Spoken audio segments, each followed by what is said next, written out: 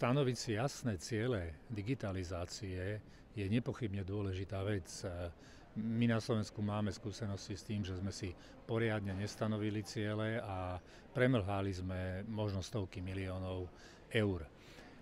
Čiže stanoviť ciele určite treba, ale treba stanoviť aj dobré ciele a materiál, ktorý je teraz predložený na rokovanie Európskeho parlamentu, tak e, mnohé tie ciele, ciele nevybral dobre. E, napríklad ide o také ciele, že v roku 2030 musí byť v IT sektore zamestnaných 20 miliónov ľudí, alebo je tam stanovené, koľko podnikov musí využívať cloudy.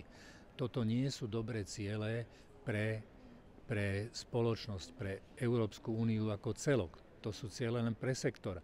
Tie ciele majú vyzerať tak, že digitalizácia bude znamenať v konečnom dôsledku úsporu času pre ľudí, väčší komfort pre ľudí, nižšie náklady, vyššiu efektívnosť firiem. To je niečo, čo sa prejaví v kvalite života ľudí. E, tie ciele, ktoré sú tam te- teraz, ako napríklad, že bude zamestnaných viac ľudí, to nie sú dobré ciele, lebo keď bude zamestnaných viac ľudí, to ešte neznamená, že ten sektor prinesie Únii a ľuďom v Únii viac.